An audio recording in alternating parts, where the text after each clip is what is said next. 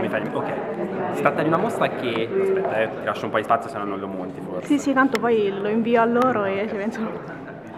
Si tratta di una mostra che vuole mh, proporsi allo spettatore come una sorta di diario di viaggio, è dedicata agli artisti spagnoli che fra 1508 e 1520 eh, vennero in Italia eh, in parte per studiare l'arte italiana moderna, in parte per cercare nuove fette di mercato in cui proporre le proprie creazioni e che si installarono fra Firenze, Roma e Napoli. In questo senso le opere che abbiamo voluto raccogliere, che fanno tutte riferimento al periodo italiano o al primo rientro in Spagna di artisti come Alonso Berrughete, Pedro Maciuca, Bartolomeo Ordóñez, Diego di Siloe, eh, sono dei veri e propri appunti di viaggio, perché sono delle registrazioni delle novità che questi artisti eh, ebbero modo di studiare in Italia, le opere di Michelangelo, di Leonardo, di Raffaello, ma non solo, l'arte del Quattrocento, l'arte classica, ehm, da riproporre poi sul mercato europeo, prima iberico e poi eh, davvero continentale, perché del resto furono dei veri e propri protagonisti del manierismo internazionale.